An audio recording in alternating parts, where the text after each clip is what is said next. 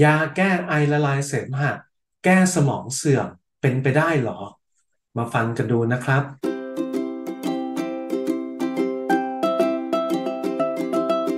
สวัสดีครับทุกท่านเพจหมอช็อตทางบาทเดียวและ YouTube Channel หมอช็อตทางบาทเดียวนะครับกับผมนายแพทย์เดดุลชัยธรรมแสงเสริมนะครับ เป็นสัญญาแพทย์แล้วก็สัญญแพทย์ตกแต่งนะกลับมาในเรื่องของคำถามทางบ้านคำถามทางบ้านคือมีคนมาถามว่า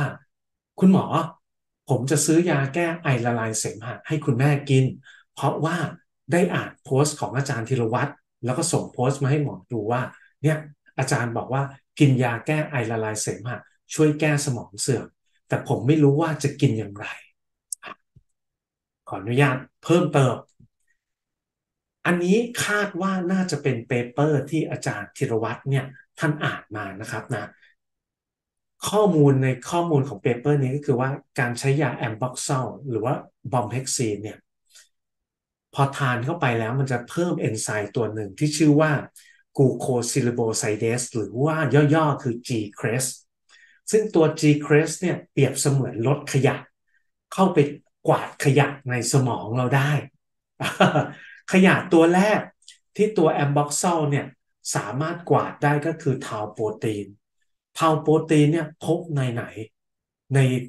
คนที่เป็นโรคอัลไซเมอร์อ่าดีไหมและอีกอันนึงก็คือ โปรตีนอีกตัวหนึ่งที่ชื่อว่า alpha-synuclein ที่พบในโรคพาร์กินสันเพราะนั้นอย่างที่บอกว่า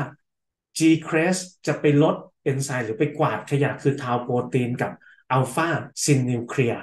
ซึ่งใน paper เนี่ยจะเน้นในเรื่องของ alpha-synuclein ก็คือโรคของพาร์กินสันนะ เพราะฉะนั้นอย่างที่บอกว่าโรคที่อาจารย์ธีรวัตรบอกว่าเป็นสมองเสื่อม น่าจะเป็นโรคเกี่ยวกับพาร์กินสันนะครับนะพาร์กินสันนะอะในนี้มันก็บอกว่า ambroxol มีประโยชน์อะอย่างไรบ้างแน่นอนเท่าที่เห็นก็คือParkinson's disease อีกโรคหนึ่งก็คือ spinal cord injury ก็คือเกี่ยวกับการบาดเจ็บของไขสันหลัง โดยเขาบอกว่าหลักๆ อย่างที่บอกว่า อันนี้ภาพที่หมอให้ดูนะก็คือว่า alpha-syn นะ alpha-syn กับตัว tau protein เนี่ยมันสามารถลดลงได้โดยผ่านกระบวนการไอ GCase เนี่ยลดขยะที่บอกนะแล้วมันกินอย่างไร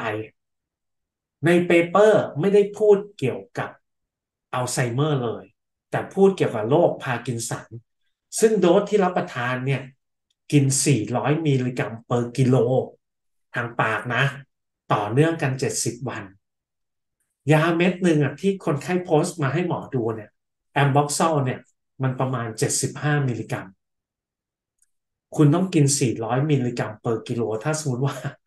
คุณหนัก80คุณก็เอา80คูณคุณต้องกินกี่เม็ดอะมันมหาศาลมากเลยนะอันเนี้ยมันเยอะเกินไป เพราะฉะนั้นอย่างที่บอกว่า